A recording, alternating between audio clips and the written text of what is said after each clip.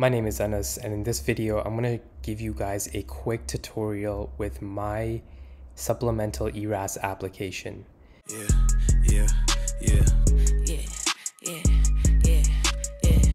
So as you know this year, these three specialties, dermatology, general surgery, and internal medicine, are giving you the option to provide a supplemental application, meaning you will supplement your original ERAS application.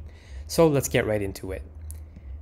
You click next and in here you're going to tell them the position that you were doing while you were gaining your experience, what organization you gained it from, the start date, the end date, and if it's ongoing or not. Now, one thing, if you guys read the guide, which I'm going to list in the description below, if the position that you are filling is still ongoing, you need to write the date to be either September 29 or September 30th as an end date. I'm not sure why they want us to do that, but do look into the guide and see if it's for the 29th or if it's for the 30th. But that needs to be done if the position is actually ongoing. After that, how often did you participate? If you look in the guide, it'll also tell you what it means to have a daily uh, frequency, weekly, monthly, quarterly, annually, etc. The type of research that you gained. So here are all the different options. Now, for me personally, as you can see, most of them were education or training experiences, but it might not hurt to include other things as well, like research or teaching or even volunteer work if that was significant for you. So once you have those things in, then where did you do it? Location, was it, you know, US, international? Was it a virtual rotation? What was the setting? Was it an urban setting, a rural setting, multiple settings? And then lastly, did the experience require knowledge of medicine, yes or no? If you answer yes, here's what's going to happen. When you click next, okay, well, when you click next again, it's actually, or sorry, one more time. When you click next again, it's going to ask you to describe why those experiences were meaningful. And this is only to the ones that you selected yes to on this page right here. Okay. So once you've completed that, click next, and then it's going to ask you for the experiences that you listed, what kind of institution was it? Outpatient, inpatient, community hospital, whatever, right? Did you go to multiple institutions? So select what it is, then you go into patient care. And was it inpatient, outpatient? Was it both? Or was it not applicable? And then lastly, what kind of training was it? Was it a, you know, a rotation? Was it an internship or an externship? Was it an observership or shadowing where you had no patient uh, or direct patient care? Once you click those, move on to next, and it's going to ask you about the research experiences. If you didn't click anything with research experiences, you're not going to see this page. So, what kind of research were you involved in? Click it over here. Most likely, I'm assuming for a lot of you, it's going to be either clinical or translational, or it's going to be like an epidemiological kind of study. Um, but enter what kind of research it was, move down to the type of research. So it gives you all these options. Was it like a peer reviewed published article? Was it a poster? You know, what was it? In my case, I was just helping recruit uh, participants for the study. So I can't really put any of these here. So I just went for other. If what you worked on got published, then you can put the citation in this section over here. And if that publication resulted in other publications, so for example, let's say it got selected for a poster presentation, right? But then you also got selected for an oral presentation. Well, you put down the citation for your poster presentation here, and then you can, in an additional research outputs, you can click yes. And that's that. Moving on, if you move down, it's going to ask you, you know, what your role was for each section of the study. Were you the lead or were you a, co a collaborator? Just select the one that fits your situation the best.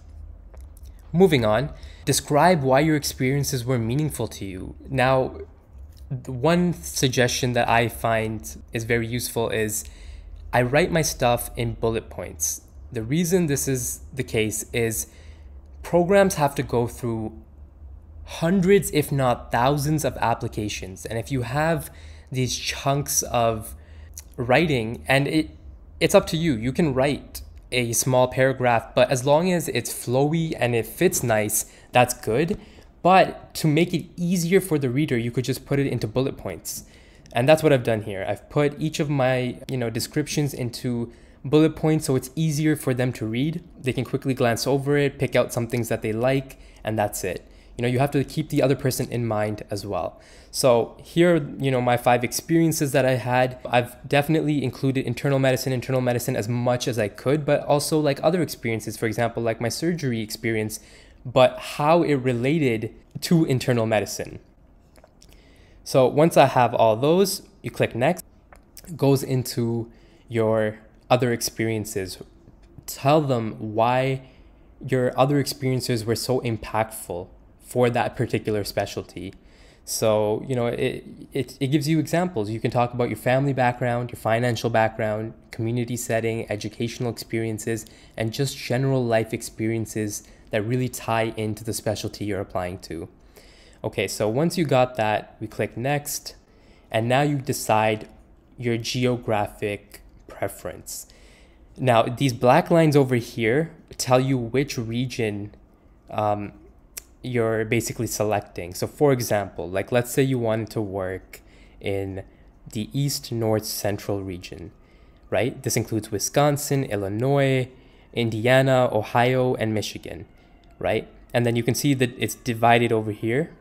So you just click down here for that uh, particular location, and you can choose up to three of them. Um, once you choose three, it'll give you three separate boxes where you can describe why it is that you want to work in that particular location. For example, I pick one, two, three, right? West South Central will see my explanation for why I chose West South Central, but not my explanation for East South Central or the South Atlantic. And this goes same for each specific region. They only get to see the explanation for them but um, other other um, regions don't get to see any explanation at all. So I guess in some way they realize that you didn't pick them, but at the same time um, they don't know what you wrote. Personally, being an IMG, it's more important for me to gain a great clinical experience, which is why I went for I do not have a division preference. I don't know why anyone would click I do not wish to communicate a division preference. Like that's just like saying, "Hey, I don't want to answer this question." So, if you're going to not pick a specific region, do this option here. I do not have division preference and explain why. You know, like personally for me, I have no nothing tying me to one specific area. Yeah, are there places that I would like to be at? Sure, but like I said, it's more important for me to gain a well rounded residency training experience over a geographical location. Next up, um, we talk about urban and rural settings. Do you have a preference or do you not have a preference? Do you have a slight preference? Now, one of the questions that comes up is okay, well, since you have no preference, or if you have no preference, then you should just click no preference, right? And then that means that you're open to either a rural program or an urban program. But the way I see it is that if I'm a program director for, let's say, a rural program, and I see this application and it says no preference, and I'm like thinking, hmm, okay, so he has no preference, he's willing to go anywhere, versus I pick up the application and I see strong preference, and I'm like, oh, he does want to be in an urban, in a rural setting. However, yes, he also wants to be in an urban setting, right? which is almost the same thing. Had I clicked no preference and no preference, it means I'm open to everything. And if I click strong preference and strong preference, it means I have a preference for everything. So it's essentially the same thing, but I just think it's better for a program to see that, hey, he has a strong preference for me versus just having no preference. It's, it's a little bit more passive. So I'm gonna leave that for you, up to you guys if you wanna go for no preference or strong preference, but I chose to go for strong preference then give them reasons why. Why do you choose to have a preference for each area, or why do you choose to have no preference whatsoever? For me, I just decided to list one pro for each setting. Next, we go into you know which programs that you're applying to. Um, here you get to send your signals to five programs. So these are five programs that, or in my case, 10 programs that will see that I've sent them a direct signal that I am interested in your program. Whereas all the other information from the previous pages goes to all of the other programs that are participating in the supplemental ERAS application. Okay? Sure, they don't get the signal that these five or uh, and these five get, but they get to view the other information. And then next, you go over here. Would you like to submit your supplemental ERAS application? Yes or no? As well, I want to make a quick note. The I am making this video on Sunday, September 19th, meaning it's the last night that we submit this application. If you are viewing this video, it means that it is past September 19th, meaning that programs will receive your supplemental application on October 6th, not on September 29th, which is the first day that programs get to view your ERAS application. Best of luck, everybody. I'm about to click next. This is going to submit my application. If I have anything more add to add to this video, I will.